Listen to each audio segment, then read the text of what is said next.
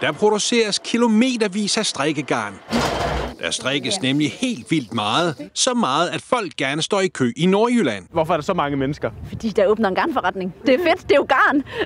Hvorfor forstår I ikke det? Og der er rigtig mange måder at slå masker op. Det må være nemt, det der strikning. Og det er bedøvende lige meget, hvad det hedder. Du skal bare lære det. Ja.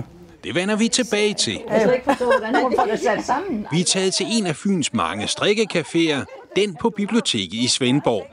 Den var en af flere på en almindelig tirsdag. Som alle de andre steder kan man her tage sit strikketøj eller hæklerier med hen og dele passionen med andre. Jeg synes, det er rigtig hyggeligt, og vi lærer en hel masse af hinanden.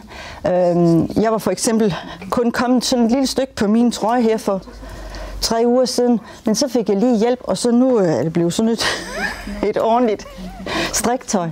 Så det er dejligt. Du gør sådan, ja. Og så... Lone tog initiativ til caféen i Svendborg, og hun ved, hvilken glæde strikning giver hende. Kan du mærke, at du har fat i garnen nu? Ja, det er at sidde og, og, og gå i gang med et stykke strik, som, som bare øh, bliver sådan, som man både så det matcher med opskriften, men også så det passer ind, og som er lækkert at gå i, og så er det den striktrøje, man har i overvis. At strikning hitter en digital tidsalder undrer ikke en konsulent, der arbejder med at rådgive mennesker, der er ramt af blandt andet stress. Så hvor mange masker har du i alt? Nu det digitale, det har boomet i så lang tid, så tror jeg lige præcis, at det er derfor, det her kommer frem. Fordi det er konkret, det er noget, du kan røre ved, det er, øh, som, som vi snakkede om, at det er naturmaterialer, det gør noget godt. Øh, øh, kommer ned i kroppen, du arbejder med hænderne, du rører ved noget. Pegefingeren skal ind der. I Lones strikkeskole skrider det fremad med meget små skridt. Har du fat? Øh, ja, faktisk noget, ja. Jeg synes, det er dejligt øh, at have noget at foretage sig med hænderne.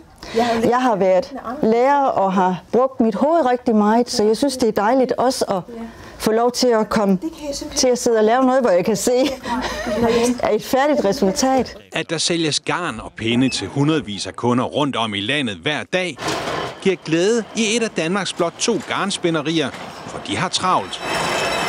Jamen det betyder, at vi har jo fuld produktion hele året. Så kan man sige, at efterår og vinter bliver der selvfølgelig strikket mere, end der gør om sommeren. Øh, men så de måneder, hvor der er lidt mindre salg, så, så kan vi køre lidt på lager. Så, øh, så der er fuld aktivitet hele året rundt her.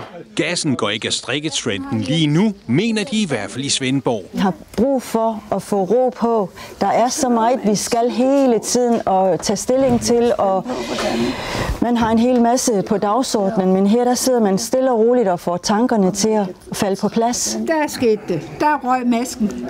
Og der røg min tålmodighed Der også. røg din tålmodighed også. Strikning, noget der næsten er for alle. Jeg ved ikke, om du har lyst til at prøve mere. Jeg, jeg, jeg tror egentlig, jeg har forstået budskabet. forstået ja, jeg vil egentlig godt hen og kigge på, at I gør det. Det synes jeg er meget bedre. Vil du hvad, så gør det. Er det ikke det, vi gør?